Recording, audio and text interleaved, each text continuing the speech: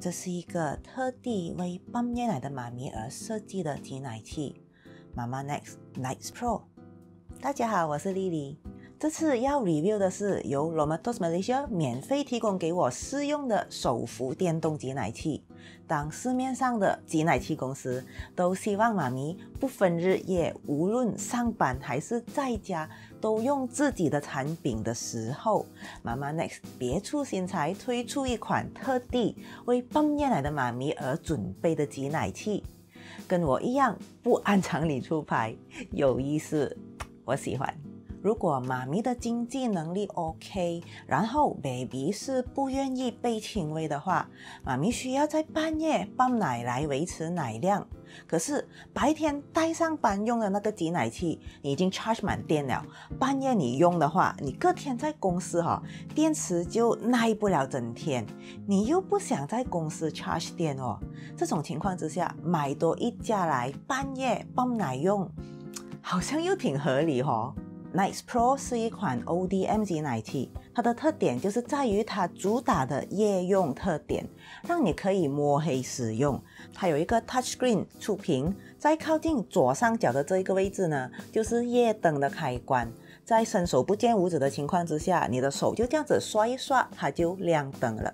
这个亮度足够你在黑暗中准备泵奶，即使不是泵奶，半夜给 baby 换个尿片或者查看一下 baby 的状况，把它当做夜灯来用也是很实用的。Nice Pro 的外形我觉得有点像个闹钟，是圆边的方形，然后下面有四个防滑角，它的夜灯在这个外围。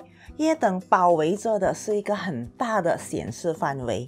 单看外表哦，原本啊我还以为它是一个触控的挤奶器，但是原来不是，它只是有夜灯和这个节奏两个功能是触控，基本的其他功能呢都是按 button 来操作的。它的 button 很简单，容易记，因为就只有三个 button。左右两边的加减 button 就是增加或者减少那个吸力的强度，中间这个比较大的 button 就是开关和转换模式共用的 button。按着不放就是开机或者关机，按一下子就是转换那个模式。Nice Pro 一共有三个模式：按摩 （Massage Mode）、挤奶 （Expression Mode） 还有刺激 （Stimulation Mode）。全部都是按一下这个开关把灯就可以转换的。当屏幕出现手摸奶的图案，就是 Massage Mode 按摩模式，是抽吸比较轻快、引发奶阵用的模式。这个模式有十个吸力 level。屏幕出现乳房漏奶，就是 Stimulation Mode 刺激模式。这个混合了按摩还有吸奶的两个不同吸法。这一个有三个吸力强度而已。最后两滴水珠就是 Deep Suction Mode 吸奶模式，是抽吸比较长也比较有力的模式。这一个的吸力有十五个强度。在你还没有记下这一些图案代表什么模式之前，你是可以保留这一块 sticker 来参考的。Nice Pro 有记忆功能，它会保存你每一个模式最后用的吸力强度。不过，它是不会在你开机的时候就立刻回到你最后用过的模式，因为它是预设好每一次你开机，它就自动先从按摩模式开始的。可是哦，它这一个自动就只限于开机的时候自动按摩，它并不会在按摩几分钟后，然后自动就转换去吸奶模式或者刺激模式的。还有就是它开机操作三十分钟之后会自动关机。就在这一个夜灯触控位的旁边，有一个节奏的触控，也就是让你调抽吸的速度。每一个模式的每一个吸力强度都可以调三个不同的节奏。其实这样子的三个模式和可以调节的节奏，我相信啊，现在很多 ODM 的挤奶器都有了。这也是我对 ODM 手扶挤奶器没有那么严格的原因。只要妈咪可以有更多的吸力强度选择，还有节奏可以让他们调。第一级的吸力很温和，然后最大的吸力也很够强，让妈咪有比较广大的范围去自己摸索最有效的吸力和节奏。这样子挤奶器的可用性就会比较高。目前正在重新泌乳，奶量超少的我，用 Nice Pro 泵完后，乳头是可以挂着一滴奶的，而且它也不会弄痛我。我可以开到 Level 七或者八的吸力强度。那要注意，舒适程度和效果都是因人而异的。我用到不会痛和有效，你未必也是一样。这里说的只是让你参考而已。如果你目前刚产后，请先不要买 Nice Pro 或者任何其他牌子的挤奶器来用。只要能跟 baby 在一起的话，就要多亲喂，因为太早使用挤奶器可能会对你的奶量有不良的影响的。Nice Pro 随着包装来的喇叭尺寸有两个，二十一 mm 和二十四 mm。可是哦，你反转整个包装盒子都找不到写着二十四 mm 的喇叭的，因为其实这一个写着二十一 mm 的喇叭就是二十四 mm 的，这一个 silicone 的 massage cushion 才是二十一 mm 的。我知道很乱，对不对？那不过你现在知道了就好了。如果你是不喜欢有一层 silicone 的 massage cushion 的话，或者两个喇叭尺寸对你来说都太小的话，妈妈 Next 也有另外卖其他尺寸和材质的喇叭，包括有二十一、二十四，还有二十七 mm 的软喇叭，也有二十七 mm 的硬喇叭。先让大家看一看硬的喇叭，然后这一个就是他们另外卖的软喇叭 soft funnel。刚才我不是说拌完后我的乳头可以挂着一滴奶吗？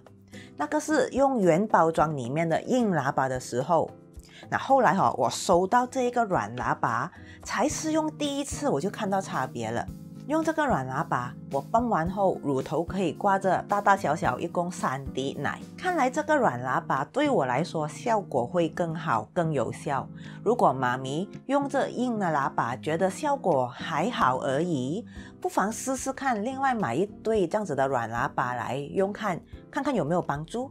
软喇叭一个的价钱是马币二十三块，它的尺寸也是准确的，写着的尺寸跟真实的尺寸是一样的。Nice Pro 主打泵液奶，它宣传的资料上也自称很安静，这个就奇怪了。我觉得这架机很潮诶。如果你是白天上班用的话，把 d i s h 另外一边的同事听到一定会说：“喂，谁的电话响了那么久都没有人接的？”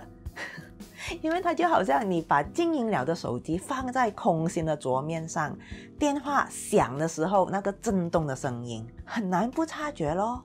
那让大家看看这一个用声量计 App 来测量的分贝值。现在这个是开机前房间原本的背景声音分贝值。我现在说话的声音不包括在内，因为这个画面是分开录的。现在开机后 reset 一下就可以看到 Nice Pro 操作的分贝值是多少了。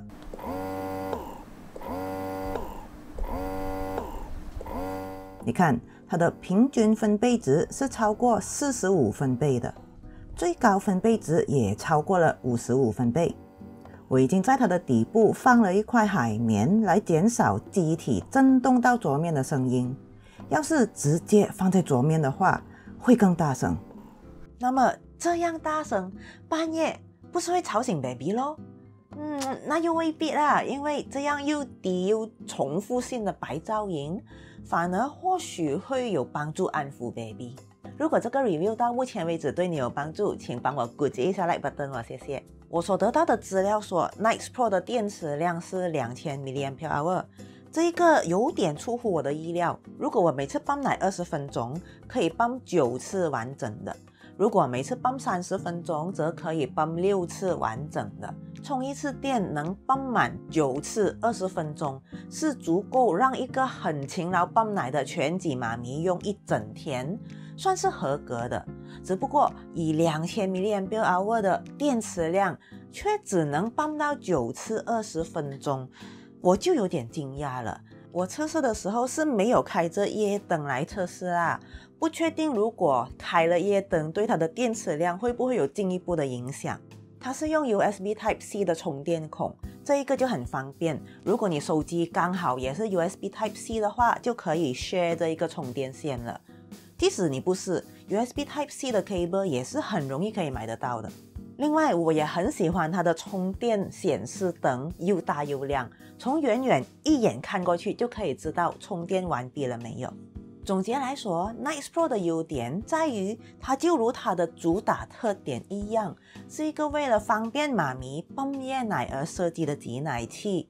有夜灯，有白噪音，它可以让妈咪尝试不同的模式和速度搭配，来找出最适合自己的节奏。